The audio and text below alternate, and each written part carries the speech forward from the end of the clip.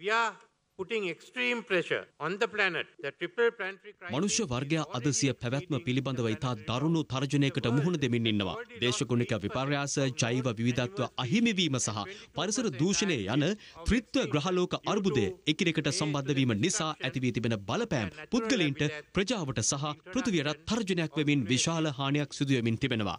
අපි පෘථිවිය මත දැඩි පීඩනයක් ඇති කරමින් සිටින අතර මෙම ත්‍රිත්ව ග්‍රහලෝක අර්බුදය මේ වන විටත් ග්‍රහලෝක සීමාව ඉක්මවා ගොස් තිබෙනවා. ලෝකේ හඳුනාගෙන ඇති සත්ව විශේෂ වලින් සියට අටක් පමණ මෙවන විටත් වඳ වී ගොස් තිබෙනවා.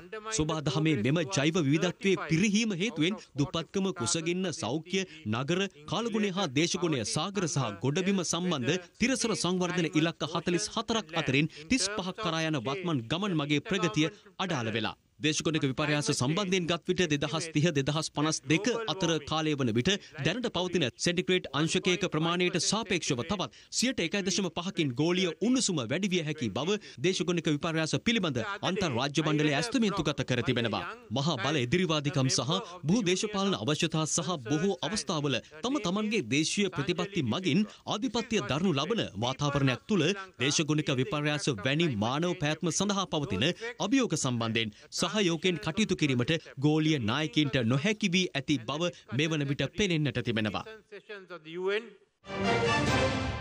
රටේ ලෝකෙ සිදුවන උණුසුම් පුවත් දැනගන්න සියත නිවස් YouTube channel එක අදම subscribe කරන්න.